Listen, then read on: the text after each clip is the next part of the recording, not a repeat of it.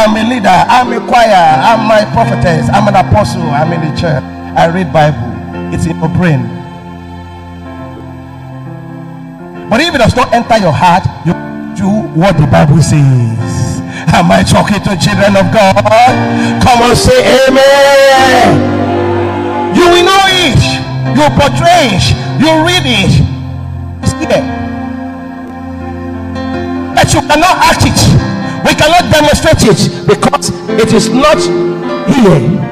It is in our brain, our our mind, but not in our heart. The word of God is here. We can quote it, but it's not here.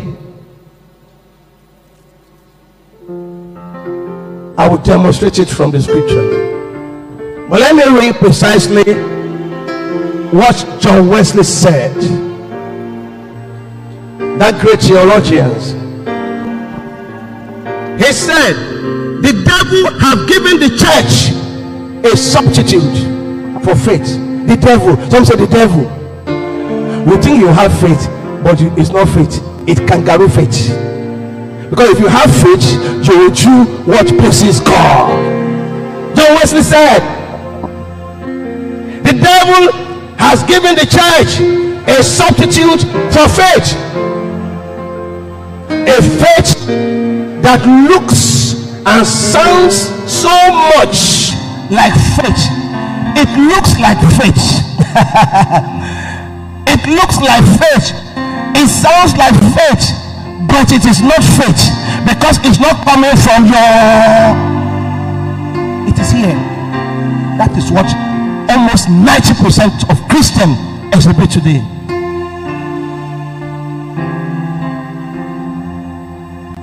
And that is why we cannot practice what the Holy Spirit says.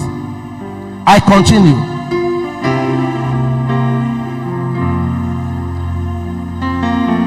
And sounds so much like faith that many people cannot tell the difference. It will look like faith, it will sound like faith. That many people. Hey, ah, that woman go to church every Sunday. Ah, oh, he's a good Christian. Oh, that man. Hey, that man. I'm seeing him walk in the church. Ah, people cannot find the difference. The only way they can find the difference is in action. In what? Character. In love. In interpersonal relationship with God and